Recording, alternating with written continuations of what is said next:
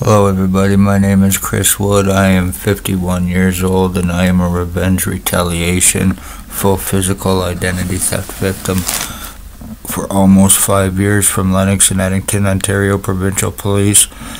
From Bill Wooldridge, a guy named Bill Wooldridge lives at 149 Center Street, North Napanee, now bald glasses, sometimes a goatee, approximately 65 to 70 years old frequents a place downtown, a local pub, and a coffee place.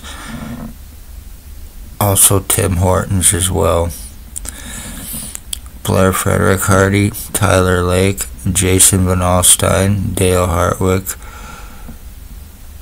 Tony Hearns are guilty of identity thefts and frauds, financial thefts and frauds, aiding OPP in this crime for four years, skull splitting, brain injury, lung and kidney damage, body mutilations while being lied about, being prevented from medical help through false charging from the police and criminal negligent doctors who are accessories to co-commit and cover up OPP crimes and the ones named I spoke their human trafficking, their sex slavery trafficking, and other crimes. As a result, I got shot with something back in 2019 by XOPP chief or commander before leaving in Napanee.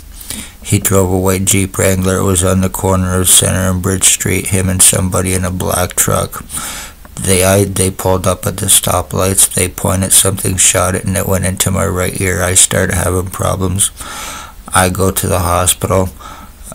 I get files falsified, medical treatment refusals, lies, cover ups, being falsely arrested to prevent theirs, in an attempt to criminalize me, in an attempt to get away with what they're guilty of. I am the end of my bloodline, so congratulations to the hospitals and OPP, Spencer Mills 14716, Robert Kane 7224, Spencer er, ex-chief or commander, year 2019.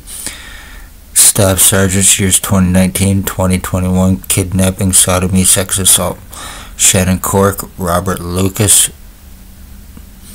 Stacy, a mental health worker, was an Napanee Daily Tea Company, now Kingston, left to further distance herself in hopes of deniability, and also Shelley Hafner. Hafner had me kidnapped May 27, 2021. Congratulations, this is done. It could all be medically proven.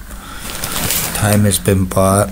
The lies, time buying, cover ups, arrest refusals, false arrests, the stalking, having my mother murdered, having my dogs killed, while having me blamed for this and having me medically blacklisted and kept from help to buy time and get away with this. OPP are guilty of causing homelessness. This is how they are trafficking, framing, and committing murders above suspicion with these low-life stalkers, gang stalkers, and killers who are doing this with for. It is being done to me by what is called remote neuro monitoring. I have had it on me since, and also OPP are putting prisoner tracking on their victims. No criminal record or history, no psychological record or history, regardless of the lies and bullshit that these bastards are telling against me to be above suspicion to get away. Families of murdered or missing natives, I would check Ontario Provincial Police, especially ones around Lennox and Addington, LNA OPP. They are very seriously dangerous and corrupt.